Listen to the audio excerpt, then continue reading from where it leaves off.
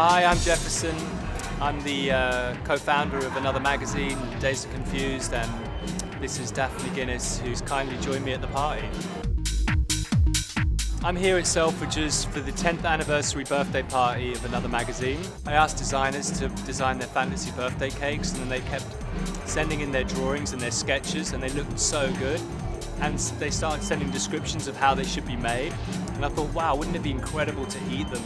It was a fun idea that was meant for the magazine only, and then we got more and more people involved, and it snowballed. Selfridges were like, wow, we'd love to put this on in the shop. And for me, it was it's brilliant having it in Selfridges because it means it's just for everybody can see them. It can be a party that everybody's invited to.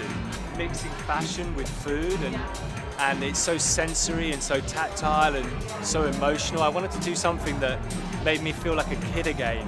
Just have fun and just enjoy the magic of creation and bringing some of the world's greatest designers and the UK's greatest cake makers together is like a dream. A very fun dream that I'm now living.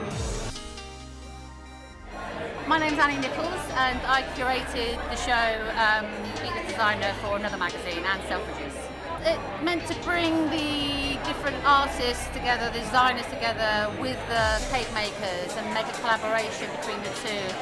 The highlights of, of meeting all the cake makers was just to see their skill, to see the dedication, to see just what they're able to do with their particular skill and to watch that in action has just been a pure joy.